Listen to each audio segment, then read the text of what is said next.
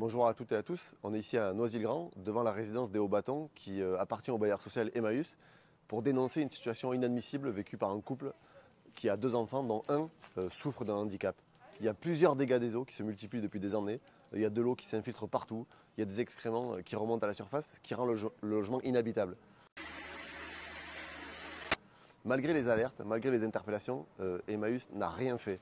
Et aujourd'hui, cette famille, elle ne peut plus habiter ici, elle est obligée de se payer elle-même l'hôtel. Donc elle a un double loyer suite à l'inaction du bailleur social. C'est absolument scandaleux. Le dernier des eaux était une véritable catastrophe. Euh, L'enfant qui souffre d'un handicap a dû être évacué par la fenêtre, par des voisins pour l'aider à sortir du logement. Pas la faire sortir par l'eau. C'est une dinguerie. Aïe, aïe, sa jambe, sa jambe, sa jambe. Oh, c'est bon, c'est bon. Merci.